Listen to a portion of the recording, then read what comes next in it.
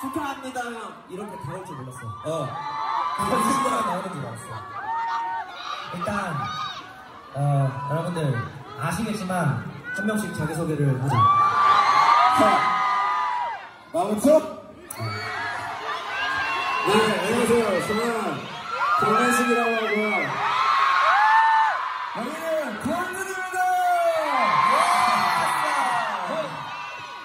네 저는 할아버지가 우리 고철이라고 합니다. 안녕하세요. 9월 중인 김호원입니다. 안녕하세요. 빅나팅입니다. 오시면! 안녕하세요. 안녕하세요. DJ 싸우시죠. 어, 여기는 저희 식구고요. 그리고 저 처음 시작할 때부터. 안녕하세요, 고현준! 안녕하세요, 저 처음 음악, 어, 한, 한국에 와서 시작할 때부터, 어, 뭐, 같이 해가지고, 저한테 되게 든든한 친구들이고, 자극이 되는 친구들입니다.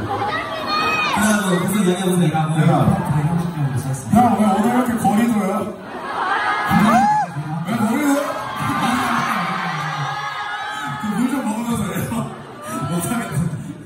그러면 앵콜 계속 이어가볼게요.